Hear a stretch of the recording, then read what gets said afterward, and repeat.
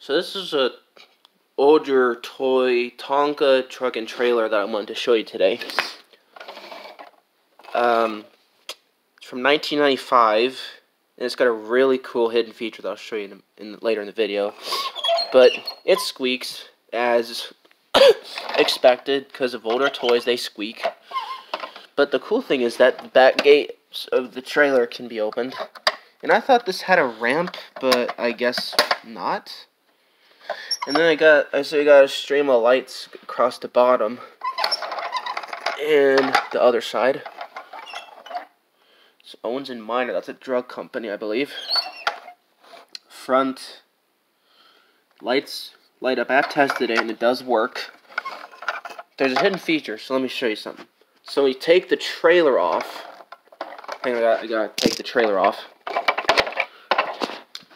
And then you play the sound on the truck. These lights and these lights come on. And then you're like, okay, how does the trailer get lights? And then you're like, oh, there's the battery cover. And then when you unscrew it, you unscrew the battery cover of the trailer, you're like, okay, the batteries are probably just inside.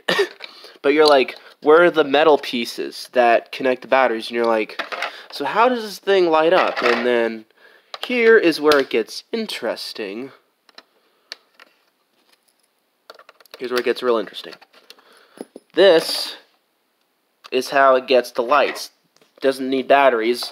It's kind of like a plug. When you plug the uh, trailer hitch into the truck fifth wheel, you're you're making a you're you're making a connection. You're making a full circuit. So it's kind of like plugging this into an outlet. So when you plug the fifth, when you plug the hitch into the fifth wheel, you're plugging the lights in, and that's how the trailer makes lights.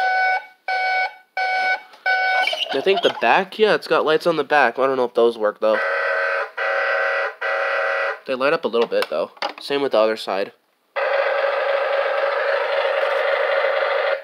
So yeah, that is actually really clever. I had no idea that's how it worked until now. So, it's a really nice truck. Um, it has the same sound on two buttons. It has four buttons. Press the bottom one, you get this. Press the top button, you get this. So these two buttons must be tied to the same circuit, which is okay. That means you just get three sounds. And then you get the horn, which sounds more like a, uh, an emergency siren. But at least you do get sounds with this, which is very nice.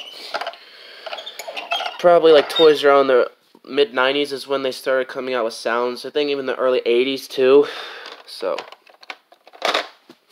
yeah, this is actually a very nice toy, and I want to keep it for as long as I can.